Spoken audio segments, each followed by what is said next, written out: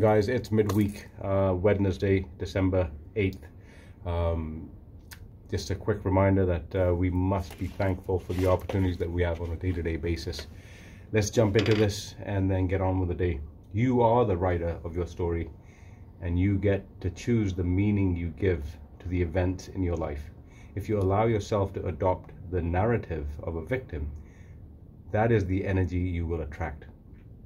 True empowerment comes when you choose to change the narrative into something that helps you climb up above the struggle and tap into your resilience.